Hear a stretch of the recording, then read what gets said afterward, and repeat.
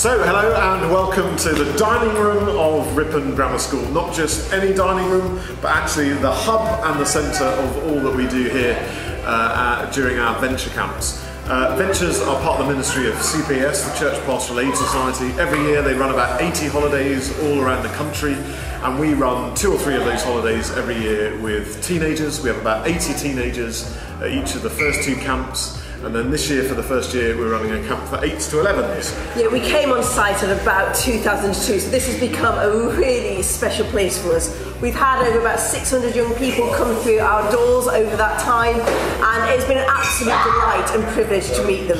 One of the things we absolutely love about Ripon Venture is that people come, they disappear for a year, they go back to their churches, their schools and everything, and then they come back the year after, and we get just to meet with them and crisscross into their lives once again. We have some fabulous young people from all walks of life, from all across the country. We pick some kids up from London, some kids coming from Spain, um, other kids here from Leeds There's a fabulous mix. We do a host of activities, so we do a load of on-site games and stuff. We go kayaking and caving and gorge walking and via ferrata. We go to theme parks. We do loads of great stuff. But we also gather together and explore and investigate and think about God, who God is, who we are, and how the two interact. And it is the biggest privilege in the world ever. Well, the best thing was meeting new people, doing a lot of activities. It was very different things, so you can do different stuff every day, and I enjoyed having a relationship with the leaders. Mostly everything. Yeah, the, it's um, exciting. You learn new stuff, and you experience new stuff. I really like the, um, the atmosphere you have here. Um, I also really like the meetings.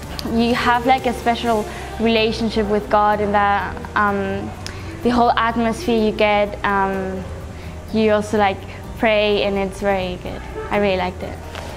So this year, 2019, for the first time, uh, we're running a camp for 8s to 11s. Uh, so in a few days' time, we've got 50 kids coming for the first time. For many of them, it'll be their first time away from home.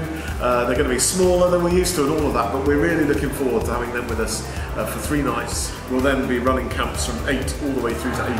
So for 10 years, hopefully, our prayer is that we'll have these young people returning year on year and then again as leaders when they're older than that. Uh, and just that chance to journey together as a community of communities we often talk about, uh, of people uh, wanting to live life for God uh, and to explore what it means to be disciples of Him.